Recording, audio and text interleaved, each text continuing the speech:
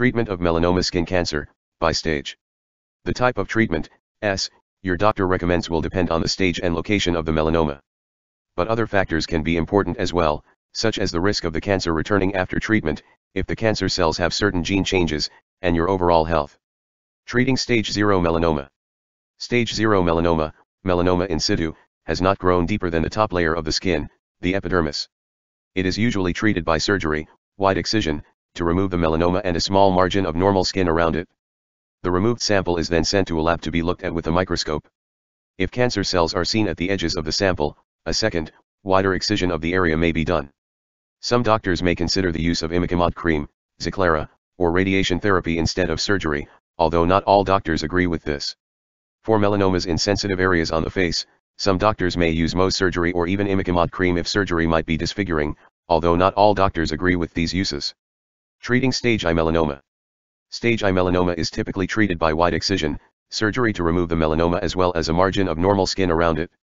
The width of the margin depends on the thickness and location of the melanoma. Most often, no other treatment is needed. Some doctors may recommend a sentinel lymph node biopsy, SLNB, to look for cancer in nearby lymph nodes, especially if the melanoma is stage IB or has other characteristics that make it more likely to have spread. You and your doctor should discuss this option.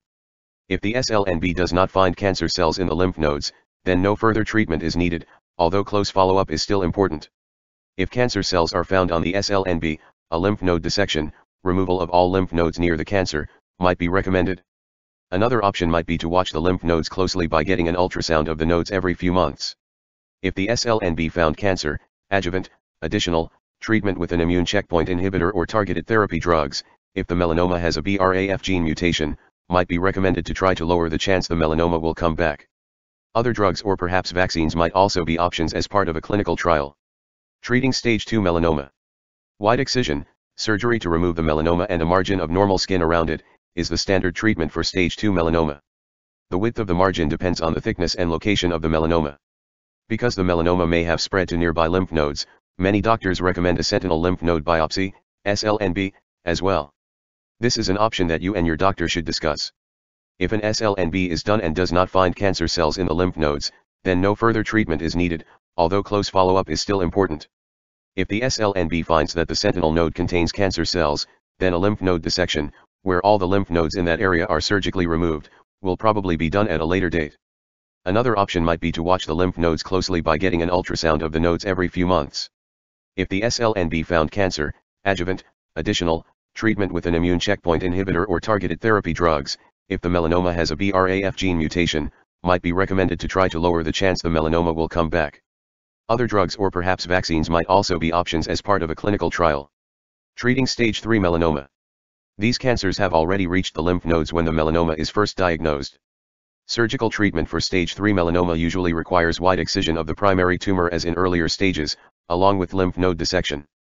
After surgery, additional, adjuvant treatment with an immune checkpoint inhibitor or with targeted therapy drugs, for cancers with BRAF gene changes, may help lower the risk of the melanoma coming back. Other drugs or perhaps vaccines may also be recommended as part of a clinical trial to try to reduce the chance the melanoma will come back. Another option is to give radiation therapy to the areas where the lymph nodes were removed, especially if many of the nodes contain cancer. If melanoma tumors are found in nearby lymph vessels in or just under the skin, known as in-transit tumors, they should all be removed, if possible. Other options include injections of the TVEC vaccine, Imlygic, Bacille Calmette-Guerin, BCG, vaccine, or interleukin-2, IL-2, directly into the melanoma, radiation therapy, or applying imiquimod cream. For melanomas on an arm or leg, another option might be isolated limb perfusion or isolated limb infusion, infusing just the limb with chemotherapy. Other possible treatments might include targeted therapy, for melanomas with a BRAF or c-KIT gene change, immunotherapy, or chemotherapy. Some people with stage 3 melanoma might not be cured with current treatments, so they may want to think about taking part in a clinical trial of newer treatments. Treating stage 4 melanoma. Stage 4 melanomas have already spread, metastasized, to distant lymph nodes or other areas of the body. Skin tumors or enlarged lymph nodes causing symptoms can often be removed by surgery or treated with radiation therapy. Metastases in internal organs are sometimes removed, depending on how many there are, where they are, and how likely they are to cause symptoms. Metastases that cause symptoms but cannot be removed may be treated with radiation, immunotherapy, targeted therapy, or chemotherapy. The treatment of widespread melanomas has changed in recent years as newer forms of immunotherapy and targeted drugs have been shown to be more effective than chemotherapy. Immunotherapy drugs called checkpoint inhibitors such as pembrolizumab, Keytruda, or nivolumab, Opdivo, are typically the first drugs tried, especially in people whose cancer cells do not have BRAF gene changes. These drugs can shrink tumors for long periods of time in some people. Ipilimumab, Yervoy, a different type of checkpoint inhibitor, is not typically used by itself as the first treatment, although it might be combined with nivolumab or pembrolizumab. This slightly increase the chances that the tumor, S, will shrink, although it's also more likely to result in serious side effects, which needs to be considered carefully. People who get any of these drugs need to be watched closely for serious side effects. In about half of all melanomas, the cancer cells have changes in the BRAF gene.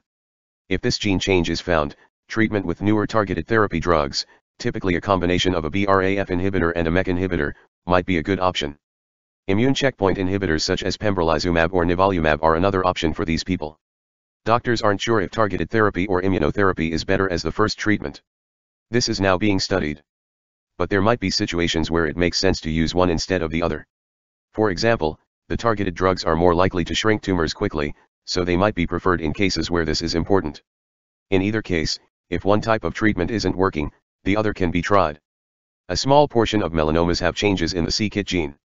These melanomas might be helped by targeted drugs such as imatinib, Gleevec, and nilotinib, Tasigna, although these drugs often stop working eventually.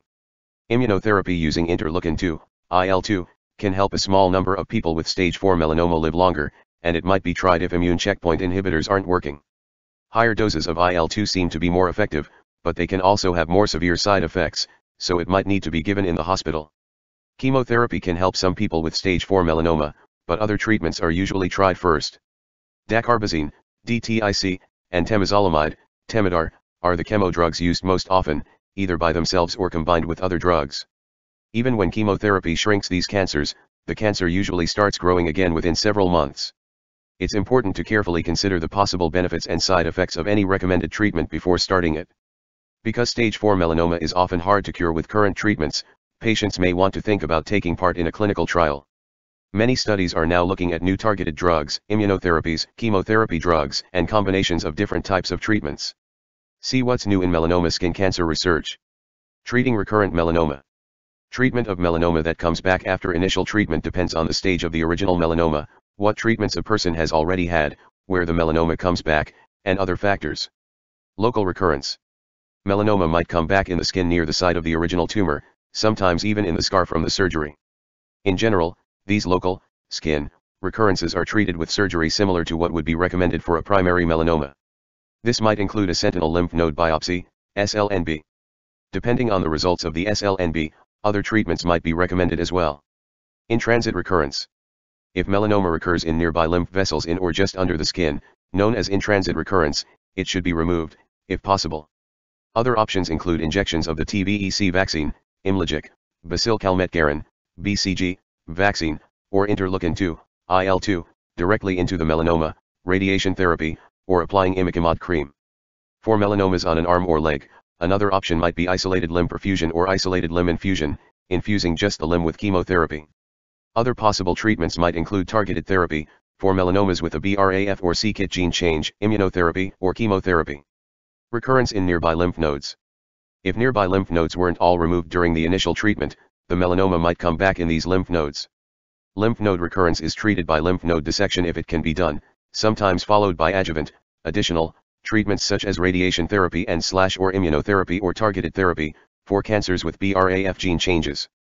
If surgery is not an option, radiation therapy or systemic treatment, immunotherapy, targeted therapy, or chemo, can be used. Recurrence in other parts of the body.